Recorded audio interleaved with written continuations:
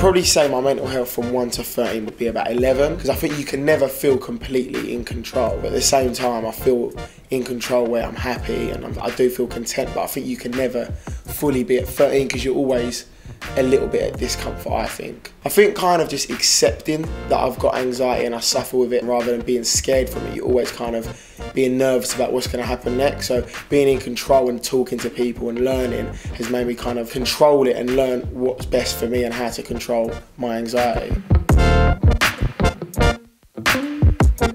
When I first started, I used to use like breathing techniques. I'd breathe in for four seconds, breathe out for five, and it kind of would distract me of what I was feeling then. And now, kind of, it's more researching, learning how to control it and, and move forward and feel positive about it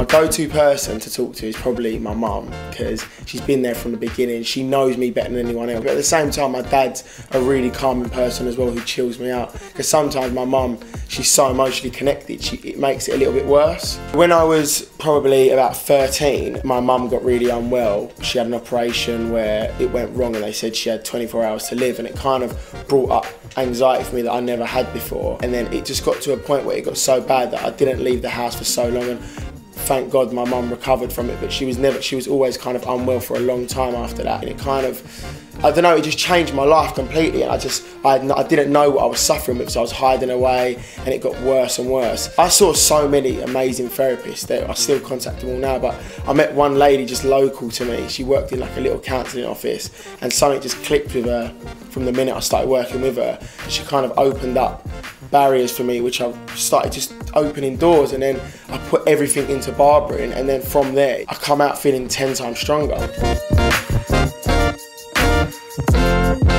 I think anxiety feels like the whole world's coming down at you at once. It happens so quick and you just don't really know what's happening. You don't feel in control. And sometimes it, it, doesn't look good, it doesn't feel good, but it is, there's no way of describing it unless you know how it feels. When me and Chris met, the first thing we realised that, that we both suffered with the same anxiety. And it's the, I knew it from when I met him and he said the same, well, you can just tell. We know when one of us is feeling anxious or the other one, and we kind of know how to calm each other down.